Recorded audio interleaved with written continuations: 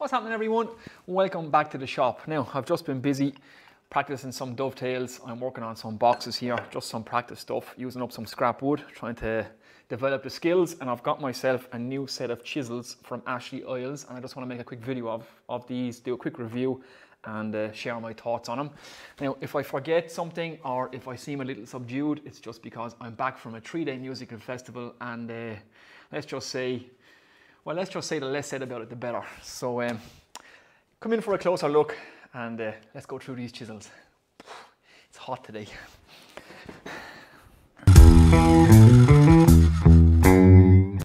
Right guys, this is the set of chisels that I bought. I bought the set of six from Ashley Iles. I got them at Workshop Heaven. I'll leave links in the description below. They range from quarter inch up to one inch or 6 mil up to 25 mil. And like I say, it's a set of six that I bought. They're a cabinet maker's chisel. They're a bevel edge chisel and they actually do go down to a fine point on the side, which I'll show you now in a second. They are an O1 tool steel and they're hardened to Rockwell 60 to 61.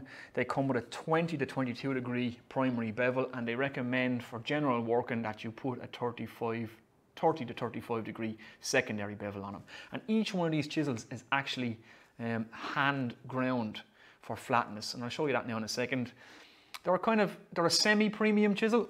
I've been doing some work um, dovetailing and joint making and making some boxes and, you know, just general messing around, things like that. I want to get into some more, I suppose they call it fine or woodworking, maybe some cabinet making and, and uh, furniture making. I also want to make a few more guitars. So I'm trying to build up some nice hand tools.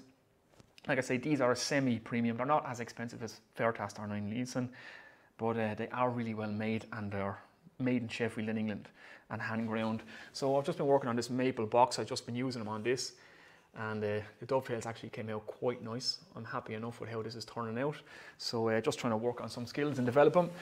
And uh, that's what I've been using these chisels for, to make this. So I said I'd do a quick review of them. You might be interested in um, a set of chisels yourself. So again, they're hand ground and I'll show you that now. So if we take this one, if you can see the grinding pattern that's on the back of that chisel, hopefully the camera's picking that up now. You've got a flat point right behind the blade and right at the end of the chisel. And what they do is they grind in or polish in a slight concavity in the back of the blade. So they just work out the center of the, of the back of the chisel. And it's only to a couple of tail. It's still flatter than the plane of your soul or the sole of your plane, the plane of your soul. It's been a long weekend. And uh, so the idea is you, you start from slightly concave and work your way back to flat with two points of contact behind the back of the chisel. Now, I listen to guys talk about this and they say, they say it's the correct way to sharpen a chisel. Now, there's a hundred ways to sharpen anything, but this is just what they say.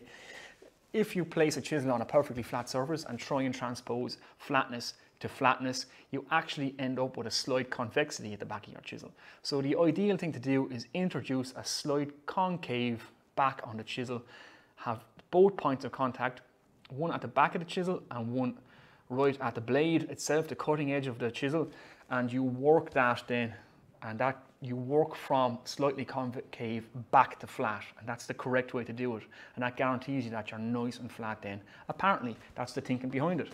So yeah, out of the box, they're very sharp like I say, they're ground to a primary bevel of um, 20 to 22 degrees. There is no secondary bevel on them. You introduce that yourself if you so need it. But like I say, I haven't sharpened these yet and I've used them to make this maple box here straight out of the packet. I've done no work on them. I haven't ground them flat or I haven't even tried to put an edge on them. So they work perfect out of the box. What we'll do is I'll take the inch one. I haven't actually used this yet. I've just taken it out of the packet. I'll show you how they come. So this is the 19 mil or the three quarter inch one. I still haven't even got to use this one yet. As you can see, they come um, coated in wax. So like I said, they're hand ground and hand sharpened and uh, they are pretty sharp out of the box. Just get this off. It's not going to play ball with me now, of course. There we go. And you just clean that up a bit. So they grind them and sharpen them and then coat them in wax just to protect the cutting edge. And like I say, you can use these straight out of the packet if, if a, 20, 20, a 20 to 22 degree um, angle on your cutting blade is what you want. And they are very sharp straight out of the box. And like I say, they are a bevel edge chisel. So like Most chisels that are advertised as a bevel edge chisel, you can see just how thick the side is on the side of the Stanley here as compared to the side of this Ashley Iles one. You can see how fine a point that gets down to. It's not completely down to a point. It still has a slight flat side on it, but uh, it's nothing like the slab side that's on this Stanley bevel edge chisel. Now these are only a cheap chisel, but these are slightly more expensive ones. But that what that allows you to do, that that grind down to almost flat or almost down to a point is that you can get into the angles of your dovetails without bruising the corners of them. And you can clear out that material. It just makes dovetailing a little bit easier. Like I say, Ashley Iles do make an actual specific dovetail um, chisel which goes down to a really fine point and actually almost down to like a cutting edge of your chisel. It's that fine if you want to get into those corners. But uh, this is what I opted for.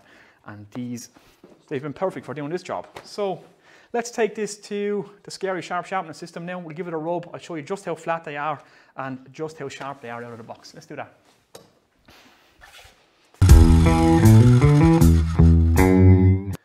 Okay, guys, this is the Scary Sharp Sharpening System. I've already done a review on this, how to use it, and what exactly it is. I'll leave links up here or up here. They'll be there somewhere. I'll also leave links below to where I bought this, and you can see the review I done on it, or me using this for the first time. So what I'm going to do is I'm just going to take this uh, one inch chisel or 25 mil chisel. You can see uh, where it's ground. I'm just going to work it down on the polishing um, grits, just the back of the chisel. And We'll polish up that edge and you'll see um, just behind the cutting, um, the cutting edge of this chisel, how just how flat it is. And like I say, these are hand ground, as I've explained already. You can see there's a flat point there and a flat point there, and it's slightly concave just to a couple of tail in the middle of the chisel. So we work back to flat. That's the idea. And uh, I'll show you just how sharp these things are out of the box. I haven't put an edge on any of these. So uh, yeah, let's do that now. So I'm going to work down from the 30 micron down to the polishing edge. And uh, yeah, I'll show you the back of the chisel. So just before we start, that's what it looks like there. Okay. So just get a bit of hone right on it. Again, this honing fluid is great stuff. Workshop Heaven again. Links will be in the description below. I'm not getting paid to do any of this. These are, I bought all these tools myself. So um, yeah, let's get sharpening or flattening. So it's going to work the chisel.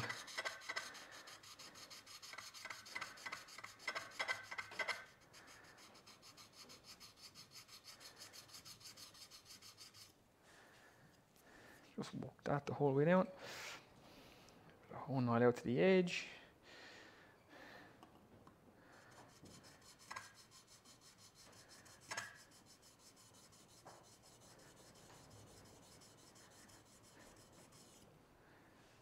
And the idea is just to polish behind the cutting surface. So you'll see just how flat these are now in a second.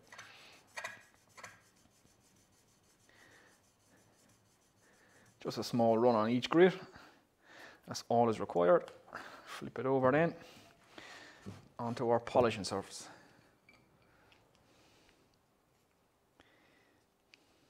It's a little bit too much oil, but you're not to worry.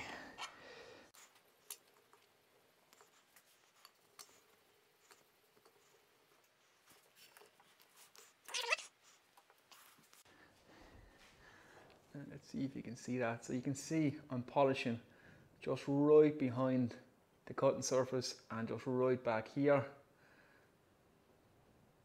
So again, these are hand ground with a slight concavity and the idea is as you're sharpening your chisel, each time you work the back of your chisel, just to flatten behind your blade, is that you are just working behind your blade and you're working the back of this chisel back to flat. So yeah, I'll show you how sharp it is now. Okay, just a little bit of maple in the voice there. Again, we have the one inch chisel here. You've just seen me just polish the back, the back behind the blade. I haven't sharpened this. This one is just fresh out of the packet. And you can see I haven't put an edge on this.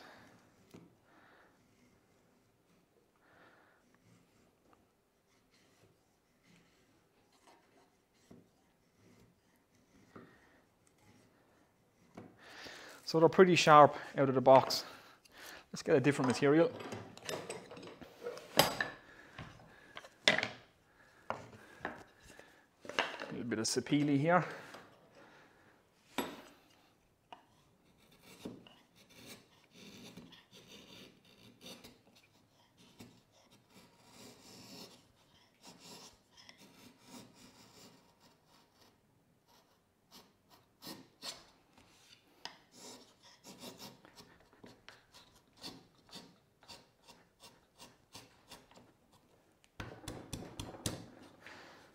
So you can see, any work to them, perfectly flat and really sharp, which is nice. Right, just to sum up then, this set of six chisels from Ashley Iles um, they're a good quality cabinet maker's chisel. Again, I'm no expert on this. I'm just trying to add to my uh, tool collection here. But what I've been using them so far, they've been absolutely perfect. Again, I haven't sharpened them. They do recommend that you sharpen the bevels or put a secondary bevel on them of about 30 to 35 degrees, which is what I'm, i will do with this sharpening system I have over here. Again, I've just been using them out of the box, testing them out to see what they're like, and they're pretty impressive. Hand ground to flat, and you can see that they're perfectly flat behind um, behind the, the cutting edge itself. So you don't have to do any prep work when you get these. A lot of chisels, when you buy them, you will have to do prep work. Same as uh, any planes you'll buy, you'll have to do a bit of prep work on the blade, um, unless you get a Lie-Nielsen plane and uh, you don't do any prep work on them. And you don't have to do any prep work on these chisels either, which is great. Just a slight bit of attention to that blade I recommend, or to the edge when you first buy them. Um, but again, they're perfectly sharp out of the box, but just put a secondary bevel. It's I, I, like to use a secondary bevel. I have a secondary bevel on all my chisels. It just makes sharpening that a little bit quicker and that little bit easier, that's all. Uh, any negatives about them? They're extremely light, which is a great positive, but it's also a negative if you want, if you want to hammer on them. You're not going to beat the crap out of these things. Um, they're for, you know, fine woodworking, using with your hand. They will take some hammering. I've been using them with this this hammer, this uh, plastic and rubber edged hammer, and uh, it's no problem knocking out the material out of your dovetails. They will take that kind of abuse, but they're not going to be. You're not going to be knocking out mortises with them. You know, get yourself a set of mortise chisels or a set of cheaper chisels if you if you're intending on uh, hammering on these things. But uh, yeah, that's it, guys. They're my new chisels for my fine woodworking, you're going to see me use these a lot in upcoming videos and uh, I just wanted to share them with you. You might be in the market yourselves for a set of new chisels and uh, these ones are like a semi-premium so they're not overly expensive, they're not extremely cheap, they're really well made. Out of the box, they're already prepared for me, made from a good quality steel. Hardwood handles, I'm not sure what the hardwood is, it just says hardwood. Um, they could be stained, so I'm not sure, but uh, they feel good in hand, nice and light to use. And like I say, sharp and ready to use out of the box. What more could you want? So that's the Ashley Iles chisels, guys. And uh, I'm feeling a bit under the weather now after that long weekend. So I'm going to knock off now and go in and get a cup of tea. I'll talk to you in the next one. Take it easy.